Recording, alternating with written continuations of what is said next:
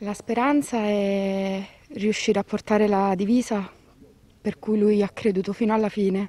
Primo giorno da poliziotta con il ricordo di Pasquale Apicella, suo marito, l'agente scelto ucciso a Napoli nell'aprile scorso per sventare una rapina in banca, una delle tante divise tinte di rosso per difendere la legalità ed è in atto un corso presso la scuola allievi agenti di Caserta frequentato esclusivamente dai familiari delle vittime del dovere. Sono nove di loro che portano avanti con onore la divisa appartenente una volta al loro parente. Anche se in forma ridotta e con distanziamento, negli spazi della diocesi di Caserta per il nono anno, una o due giorni tra memoria, riflessioni e santa messa in Duomo, promossa dall'Associazione Nazionale Vittime del Dovere d'Italia, l'appello. Stiamo chiedendo eh, delle tutele e dei risarcimenti relativi all'equiparazione delle vittime del dovere alle vittime del terrorismo.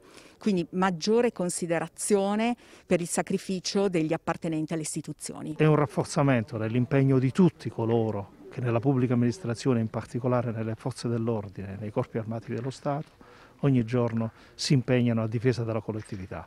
Adesso l'emergenza il Covid.